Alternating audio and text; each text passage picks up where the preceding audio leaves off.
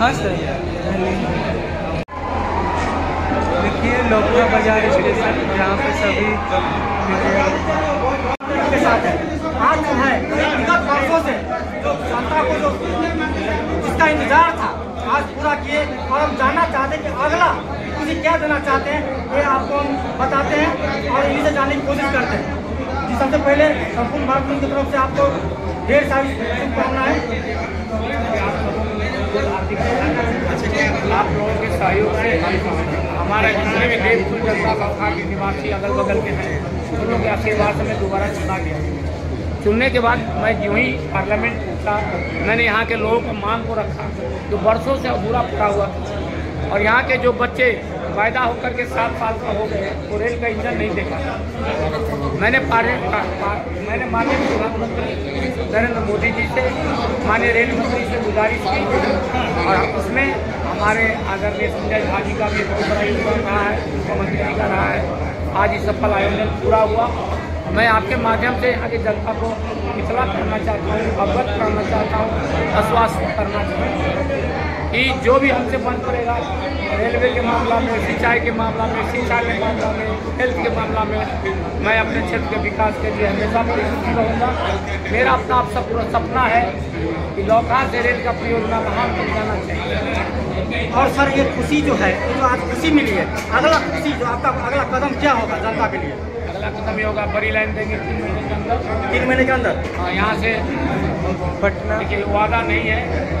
ये तो मैं बात को रखूँगा पार्लियामेंट में माननीय रेल मंत्री जी से। मेरा कोशिश रहेगा वॉशिंग पिट बनने के बाद बड़ी रेल लाइनें सभी चलेगी जब यहाँ उसको रखने का रख रखाव का व्यवस्था सुचारू तो वॉशिंग पिट बनने की तैयारी में वॉशिंग पिट बन जाएगा।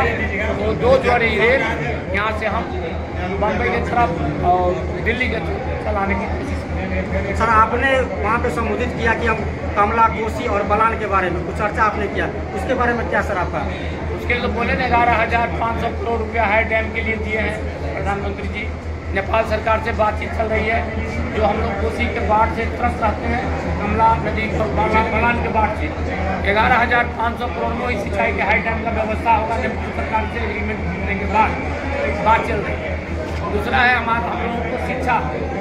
शिक्षा पर भी पैसा दिए हैं। रेल पर तैंतीस सौ करोड़ रुपया दिए और तीस हज़ार बीस करोड़ रुपया स्वास्थ्य के लिए दिए हैं। जैसे कि देश में आगे अनुसार माननीय प्रधानमंत्री जी ने फाउंडेशन इंस्टॉल किया है। और ये मेडिकल कॉलेज झंझारपुर में बन रहा है। तो हमारे बिहार में दो मेडिकल एम्स बनेंगे। और माननीय प्रधानमंत्री जी 2025 जो आने वाला चुनाव है, उससे पहले कोशिश करेंगे कि हम कम से कम झंझारपुर वासी को दो तीन चीज़ों का तोहफा दें। एक केंद्रीय विद्यालय एक कृषि विद्यालय और एक जो रेलवे की जोड़ी है।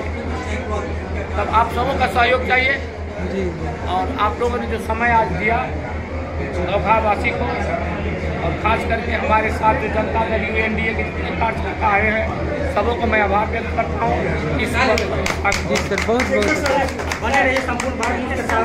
धन्यवाद। जी सर। बहुत बहुत धन्यवाद आपने देखा, संपूर्ण भारत का न्यूज़ आपको बताया गया लोग और हमारे माननीय सांसद जी, हमारे सांसद जी के द्वारा दिया गया। काफ़ी सराहनीय और बहुत ही बढ़िया कदम। उसके लिए हम लोग बहुत कोटि कोटि इनका आभार व्यक्त करते हैं। और इसी के साथ तू देखो मिठाई लो लीजिए मिठाई भी मिल रहा है। हैं मिठाई का भी स्वागत हो रहा है। बहुत अच्छा। सर मैं चीफ लोग को थोड़ा चलिए तो हैं। जी जी थोड़ा हमारे एस एस सर को भी। सर ऐतिहासिक क्षण ऐतिहासिक दिन झंझारपुर से लोखा तक का आपका प्रथम सफ़र उद्घाटन के बाद कैसा लगा?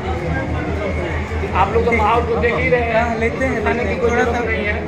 ऐतिहासिक पल जो सात वर्षों से हमारे यहाँ की जनता रेल के इंजन देखने के लिए तरस रहे थे।